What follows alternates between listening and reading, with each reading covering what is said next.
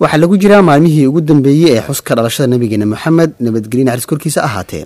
Waa gabagabada bisha rabiicul awal amaba soomaalida u taqaan bisha mawliid halkan waa dugsiga macalin xuseen dheere oo hoostaga mu'asasada macalin nuur kuna yaalla xaafadda ceelax maqandac ee degmada shibis.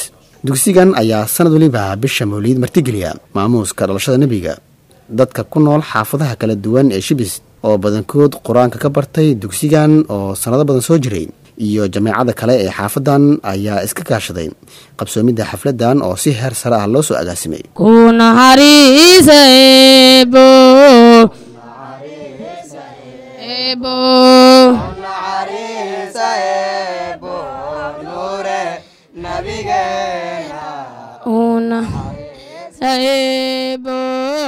mukhtaar cabdulaahi cadar oo ka tirsan guddiga qabanqaabada xafladdan iyo macalin xuseen dheere oo ah macalinka dugsigan. Xafladda lagu qabtay ayaa ka hadlay furitaanka munaasabadan. Ku hadlaya ardayda dugsiga macal xuseen calidheer ka baxeen.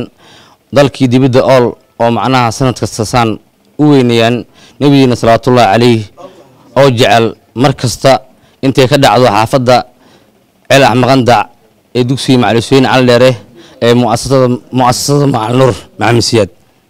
Marka waxuu ahay ardayda oo dalkii dibadda ool dhammaantooda mas'uul aan u ahay sanad kasta intii waxuu ahay macalinka mawliidka inta waxuu ahay si wanaag iyo sharaf iyo xushmad iyo wanaag fiican.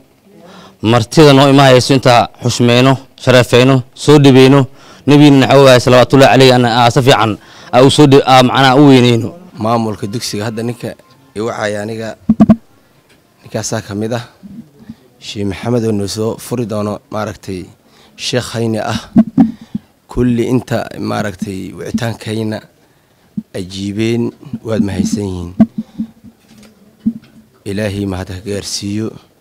Asalaamu calaykum waraxmat ullaahi wabarakaatu sheekh maxamuud sheekhaay oo ka mid ah culimadii xafladda ka qayb gashay iyo sheekh awees yuusuf calaale ayaa ka hadlay ahmiyadda xuska dhalashada nabigeena moxamed nabadgelye naxariis korkiisa ahaatee. Qiyaami aniga istaagiddeeduur lilcasiizi nabigii mahalka la'aay la'aantiisa aan istaago calaya fardun. Fardun mafruudun kula farad yeelo waaye calaya korkayga lagu farad yeele. Waa waajiba wuri nabi maxamed inaan u istaago. Wuri salawaatu ullaahi wasalaamu caleyh fardun xagga sarfiga. Faclun bimacnaa mafcuul waay qiyaamii lilcasiizi calaya fardun wa tarku lfardi maa huwa mustaqiim.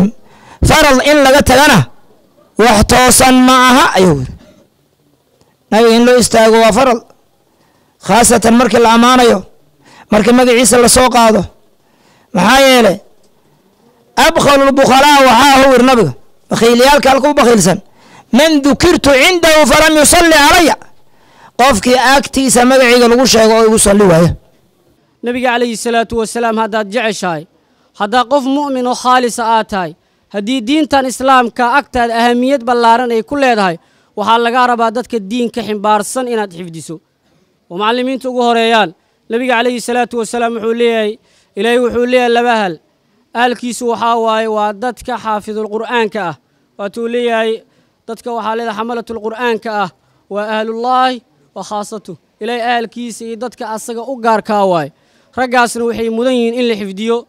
Waxaa dhallinyarada hadda xilligan jira kula dardaarmi lahaa.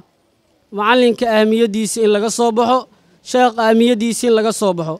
Waxay dhahaan culammada xigmadda ku hadlaa macallimku wuxuu u dhowaaday inuu rasuul noqdo maxaa yeele wuxuu ximbaarsan yahay shareecada nebiga calayhi salaatu wasalaam rabbi subxaana wa tacala agtiis kala yimid. Salebaan xaaji axmdraagi dalsan t v muqdisho.